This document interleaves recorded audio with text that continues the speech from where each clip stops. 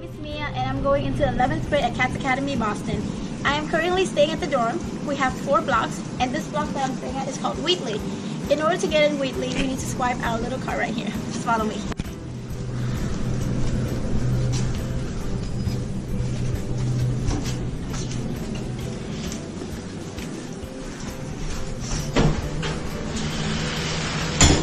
We're at the common area right now, so I'm going to show you around. It's a little bit messy because we yesterday. This is our little sink. We have all dishes over here, and then this is the microwave. We also have two vending machines where you can get your water and your snacks throughout the day. The room that I'm staying at right now. As you can see, it's a very roomy room. And then it's also very conveniently equipped with a single bathroom. That's what I like most about Cats Academy. So we have our own single bathroom right here with a toilet and our own shower and a big mirror.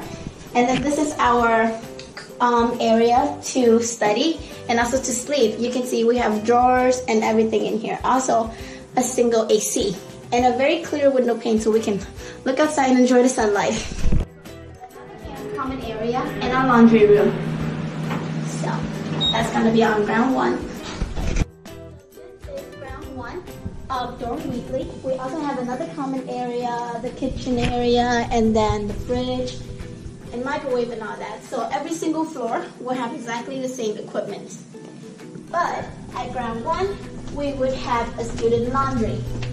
So just from the elevator and then you turn left and this is gonna be your student laundry room.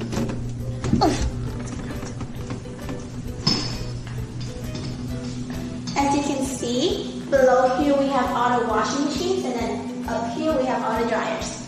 It usually about an hour and a half to do each round, so you really gotta coordinate yourself and like set a timer so you know when to get your clothes in and out.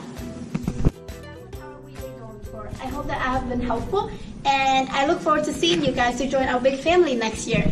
Bye!